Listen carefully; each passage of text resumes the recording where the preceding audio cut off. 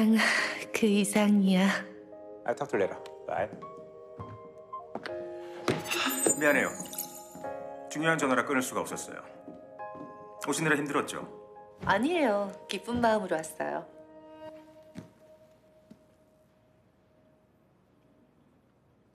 아, 괜히 어색하네요.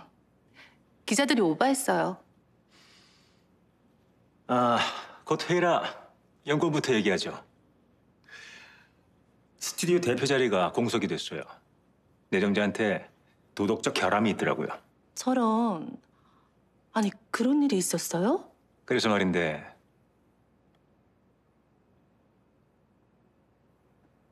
쓸데없는 기대는 말았으면 해요. 금라이 씨가 티키타카 스튜디오 대표가 될 일은 없을 겁니다. 그게 무슨 경고 하나 하죠. 앞으로 내 사람들 흔들어서 위치 추적하고 기자 대동해서 사진 찍는 짓 안 했으면 좋겠네요. 너무 하수 같잖아요. 애꿎은 운전기사만 오늘 해고됐어요.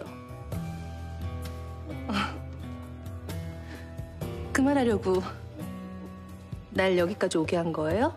턱으로 할 걸 그랬나요? 나름 최대한 예의 차린 건데 이런 모욕 처음이네요. 두 번은 없을 거예요. 다신 볼 일 없을 거니까.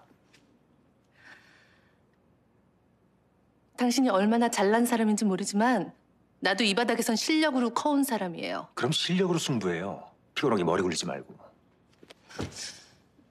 아무리 대단한 자본력을 가지고 있어도 그 자리에 걸맞지 않는 사람이 앉으면 결국 당신 돈도 노력도 빛나지 못할 거예요.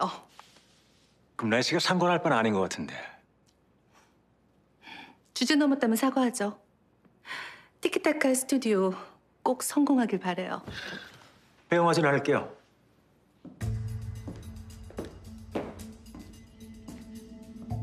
자, 소미티 부탁해요. 한 잔이요.